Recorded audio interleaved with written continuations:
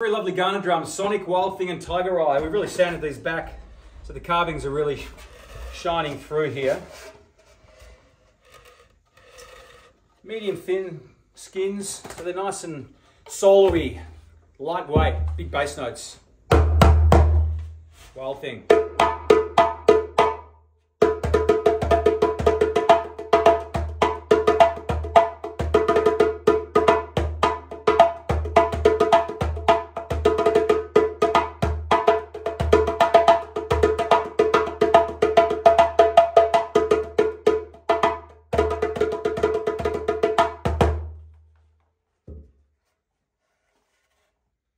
Tiger Eye.